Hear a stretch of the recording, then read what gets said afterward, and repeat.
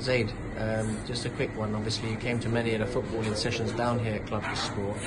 Was there other things that you might have participated in along No, the time not here? just football. So you have football mainly, and then you had different types of workshops, like the rule of law workshop, and it kind of just taught me about like the mental side of sport and how it kind of all links with working hard and believing in yourself, all types of positivity and everything. What, what sort of impact do you think the Tuff uh, Starz sessions and program had on you personally in your own personal life? I think it kind of kept me on my feet, like not just in terms of football, like made sure I wasn't doing dumb stuff on the streets, everything like Luke and Aaron kind of taught me to be disciplined and everything like that, but at the same time, just my technical ability, like it gave me so much confidence and knew that I had the ability to go far.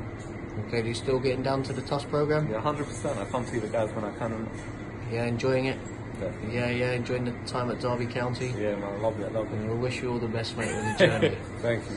Thank you. Nice one.